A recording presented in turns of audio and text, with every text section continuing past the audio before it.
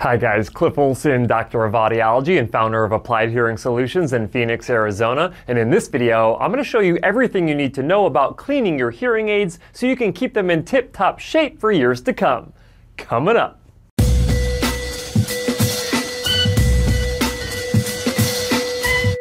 One of the most searched hearing aid video topics on YouTube is how to clean your hearing aids. Because let's face it, hearing aids can get extremely dirty. I mean, think about it. You require your hearing aids to function anywhere between 10 and 16 hours a day, 365 days a year for several years, which means that you accumulate tens of thousands of hours of usage time with those hearing aids, and they have to function even while living in a very harsh environment inside and behind your ears. Not even your smartphone gets abused that bad, and you even replace your smartphone more often than you replace your hearing aids. So it only makes sense to ensure that you understand exactly which parts of your hearing aids that you need to clean and how often to make sure that they continue to function for years to come. But before I show you everything that you need to know about cleaning your hearing aids, if you could do me a huge favor and click the like button, it really helps out my channel because it gets these videos in front of a bigger audience who really needs to see this content. And while you're at it, if you have not yet hit that subscribe button with notification bell, go ahead and do that as well because that ensures that you never miss one of my newly released videos. And I release multiple new videos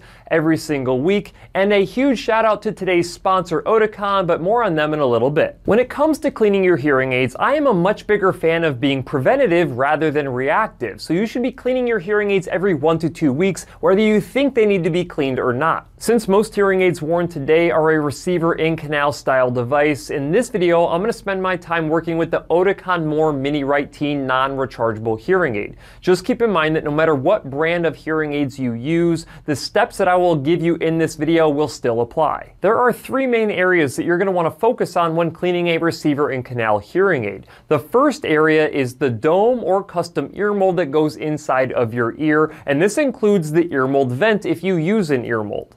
The second thing you're going to want to focus on is the receiver, otherwise known as the speaker of the hearing aid. This is what actually puts sound into your ear. And number three are the microphone ports where sound enters the hearing aid. Let's get started by cleaning a rubber dome and custom ear mold. Since the dome is the portion of a hearing aid that makes the most contact with your ear canal, it is likely to build up a significant amount of earwax. You can easily clean the dome by wiping it with a clean tissue or cloth for larger pieces of earwax, or you can just replace the dome altogether. If you have a custom ear mold like the Oticon Micro Shell or Power Mold, you can also safely use a clean cloth to wipe off any earwax buildup. You will also want to make sure that the ear mold vent remains free and clear of debris by running either a cleaning brush or nano cleaner from the back side of the vent through the front of the vent.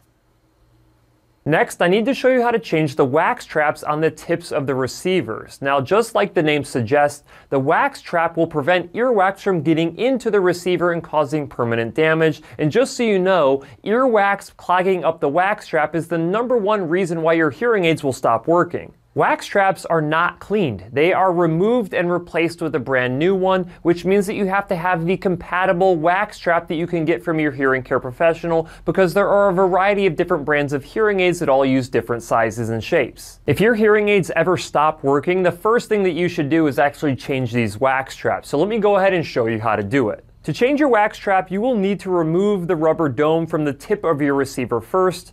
Next, you will want to remove a new wax trap tool from the sleeve that contains a new wax trap. Use the removal side to take out the old dirty wax trap and replace it with the new wax trap on the opposite side of the tool. Then you can just throw away the used tool and the dirty wax trap that is attached to it. If you have a custom ear mold, the wax trap will be exposed already at the tip of the receiver port.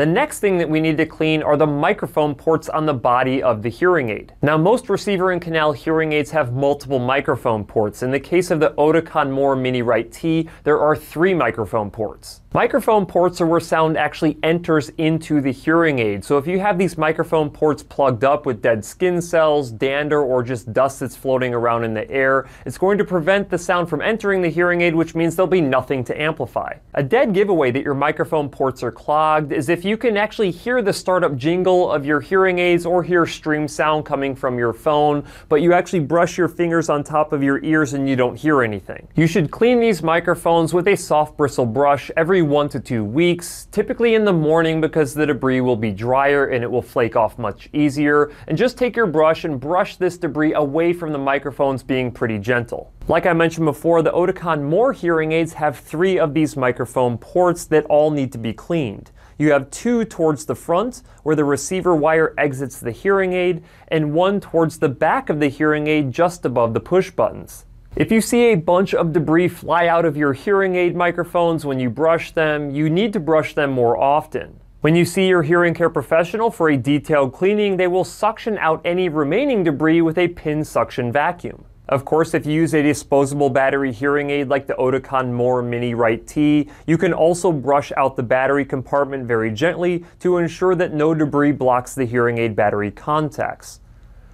If you're consistent with cleaning these three parts of your hearing aids, then your devices should be able to function properly in between your regularly scheduled professional cleaning visits. Now, Oticon, today's video sponsor, also has a variety of different cleaning videos on their website that I will go ahead and link in the description. As for their hearing aids' ability to withstand the rigors of daily use, Oticon has some of the most durable hearing aids currently available on the market due to the amount of testing that is done on their devices. Not only are all of the Oticon More and Zircon hearing aid models IP68 rated, which is the highest rating that can be attained for debris and moisture resistance in a hearing aid, but they are also durability tested repeatedly to ensure that they can withstand the test of time. If by some chance your Oticon hearing aids ever stop working, you can easily take them back to your hearing care professional to have them fix it in their office, and if they can't fix it in the office, they can always send it into Oticon for you to get your devices repaired. Not to mention, all new Oticon hearing aids come with a manufacturer warranty as well as loss and damage insurance, so you're covered if anything ever happens to your Oticon hearing aids or if you happen to lose them entirely. At the end of the day, regularly cleaning your hearing aids will not only improve how good your hearing aids sound in the short term, but it can also extend the life of your devices because you're not having to constantly replace damaged components caused by buildup of debris. So do yourself a favor, make sure that you're cleaning your hearing aids every one to two weeks and and go in to receive professional cleaning at least a few times a year so you can get the maximum amount of benefit from your devices. That's it for this video. If you have any questions, leave them in the comment section below. If you liked the video, please share it. And if you want to see other videos just like this one, go ahead and hit that subscribe button.